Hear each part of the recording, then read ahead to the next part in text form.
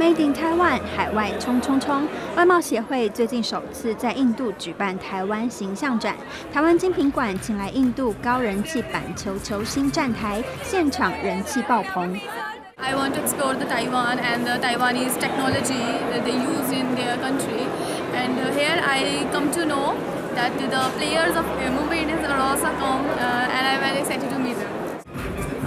三位球星现场体验台湾电竞电脑品牌的虚拟实境板球电玩和按摩椅，赞不绝口，带动印度民众对台湾精品和文化产生兴趣，更吸引当地媒体报道，成功为台湾精品打响名号。镜头转到泰国首都曼谷，最近举办创新创业展，台湾共有十五家新创团队参加，其中两家公司参加大会的国际创业竞赛，分别以水稻福寿螺防治产品和 AI 影像辨识技术拿下冠军和优胜。全世界在控制释放技术上面有五种呃专利技术，但是我们是唯一一家，我们用的是可分解的这些天然材料，呃这一点。呃，我猜想应该是很受呃评审委员的青睐。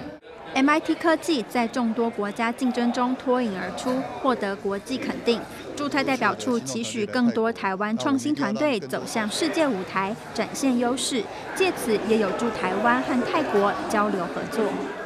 泰国事实上对台湾的科技过去有很多合作，那我们也希望说，为了更多科技的合作，能够帮助泰国来发展泰国四点零，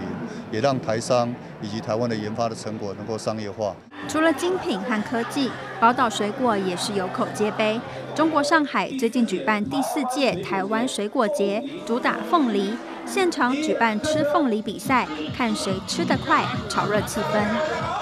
这个水果很很喜欢吃，我觉得口感上很好吃，我就拼命的吃啊吃啊吃啊，很舒服。尽管台湾凤梨的售价比当地土产的菠萝贵，但是民众认为台湾凤梨水分多、香甜好吃，贵一点很值得。业者也表示，台湾凤梨酸甜比适当，在中国很有竞争力。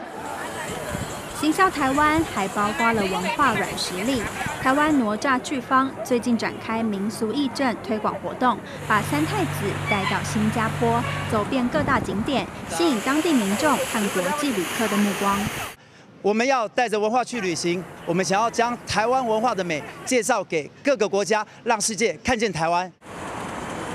定鹰三太子快闪宣传，新加坡是第一站。剧团接下来预定前进斯里兰卡和希腊，继续把台湾庙会文化推向国际，让更多人看见台湾。